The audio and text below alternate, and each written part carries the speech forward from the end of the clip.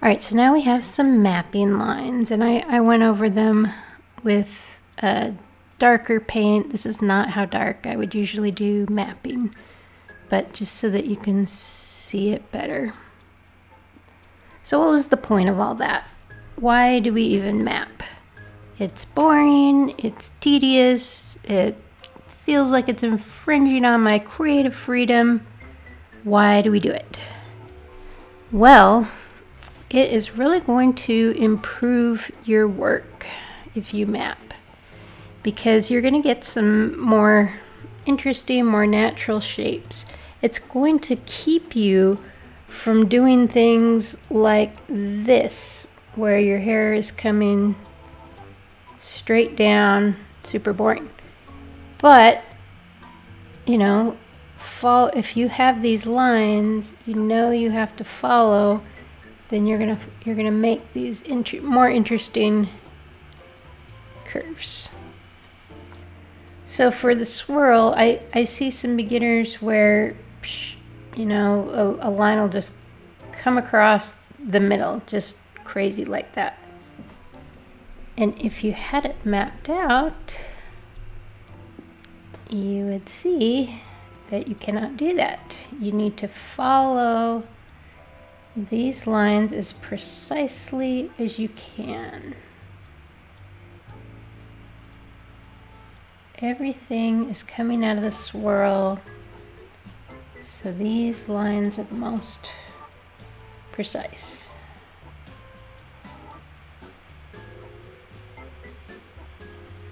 Hmm? Where's my little eraser thingy?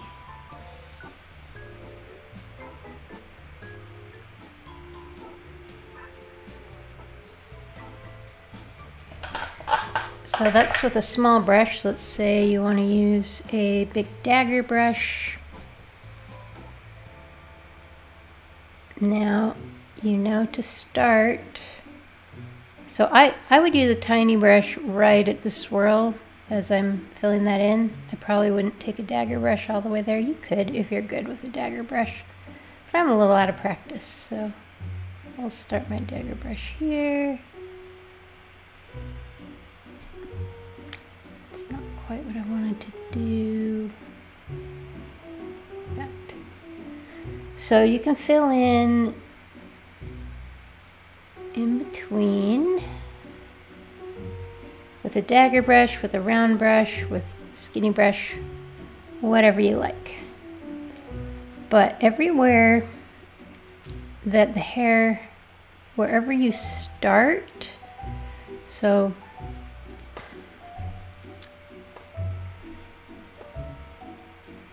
wherever the hair starts, you need to be very precise in following the lines.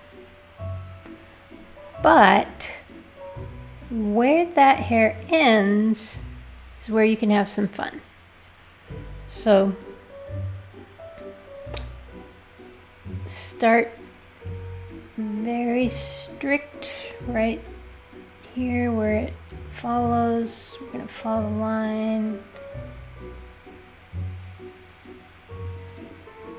But at the end of the line, you can make it curve off to the side. So let's think of this in terms of the movie The Sound of Music. This is the Von Trapp children. This is Liesl, and this is Gretl. They are your mapping lines.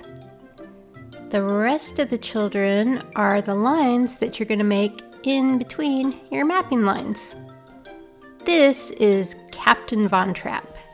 He has a whistle and he will blow it if you get out of line and you'll get in trouble. So that is you at the swirl and at the beginning of these lines. Very strict. Liesl, Friedrich, all of you guys stay in line. Hmm? But once you get like partway through your line, now you can go hang out with fun Maria and sing songs on the hill and have a good time.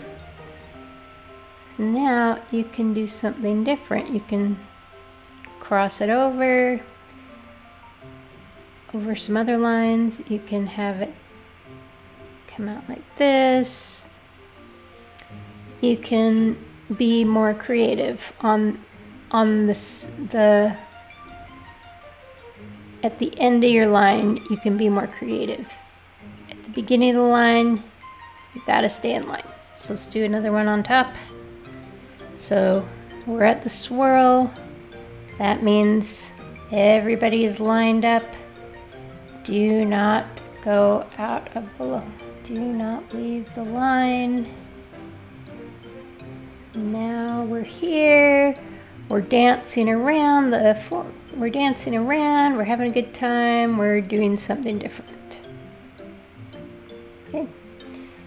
So, what would I do for this again? Very strict beginning and more fun end. Do another one. Everybody line up. Uh, follow the lines exactly. Okay, now we're free. Nobody's looking. We're to go play and sing songs and do a curve, do something creative. I'll keep going through. Stay in line. Stay in line and curve, and have fun.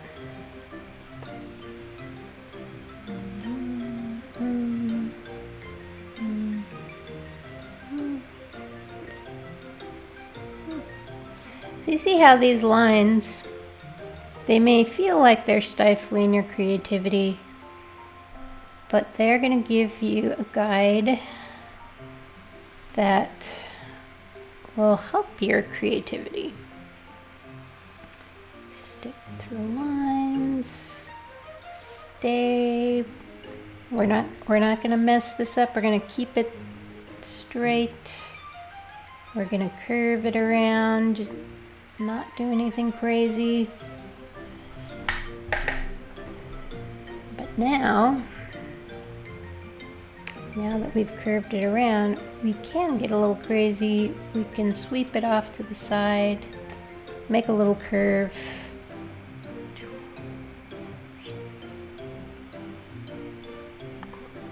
I would probably make those curves after I've filled this in. So I, I would probably first go over this with, you know, whatever brush. Do this with a round brush.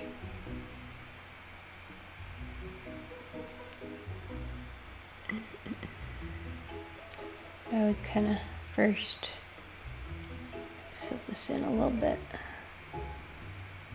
Oh, look at that. That's beading. We don't want that. I think there's just a little too much water on this brush. Wipe it off. Try it again. That's a little better. Follow the curves. Follow, follow. Follow the curves.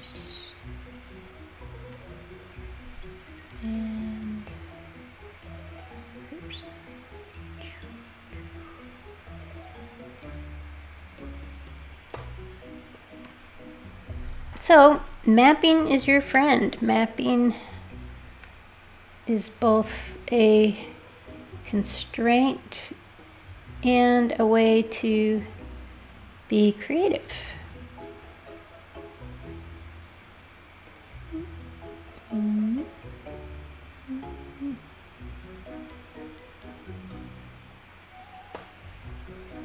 Then I would I would come back later after this dries and I would maybe add just some smaller darker hairs give it some definition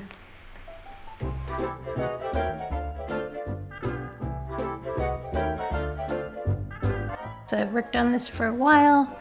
Might want to add some flyaways. And you know, it's in the name, flyaways. They just they just fly away randomly, so you just like throw them in anywhere, kind of like that. No, no you do not. No, and don't make Captain Von Trapp blow his whistle at you. Because the flyaways need to follow the same pattern that we've been doing. If I want to do a flyaway here, it needs to start where the hair is already going and then you can swoop it off to the side if you like. Maybe we have some flyaways that start going the, this direction but then they fly off to the side. Okay, now on this side, sometimes I will do it backwards instead of going that way because I'm right-handed. I will do it backwards. So this.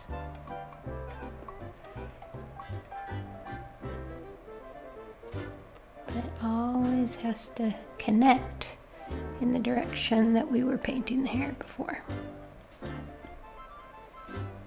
I'm not going to do anything too dark um, on any of these little front pieces because I want to keep those light.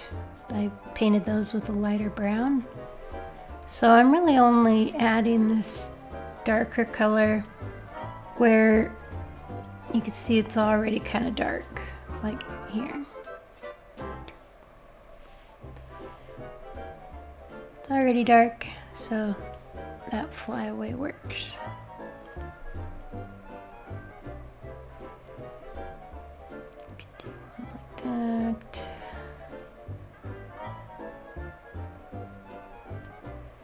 Just kind of is giving it a little bit more, a little bit more interesting movement.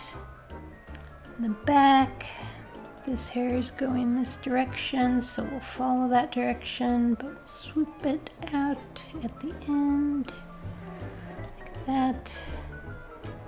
Hmm, that's a little long for a flyaway. I think it should be a little shorter. More like that.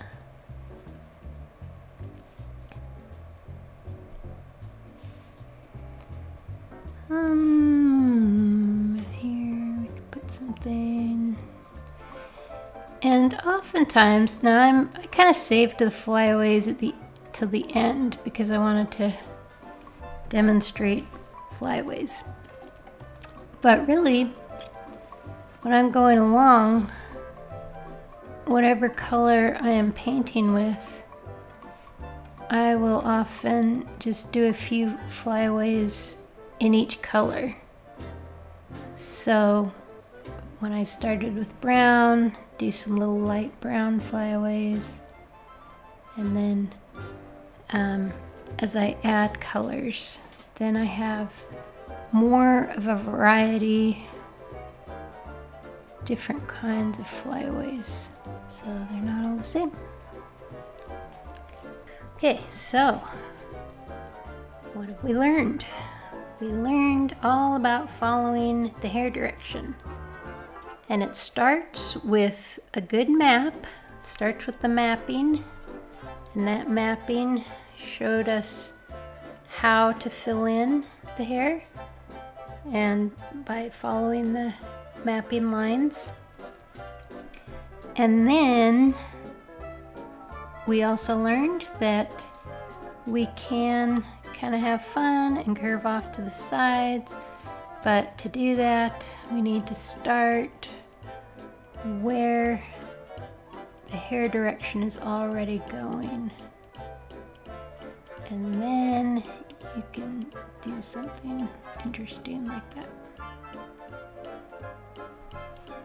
So now you know all about how mapping will help you. It helps you the whole way through keep a nice consistent direction of the hair. Thanks for watching.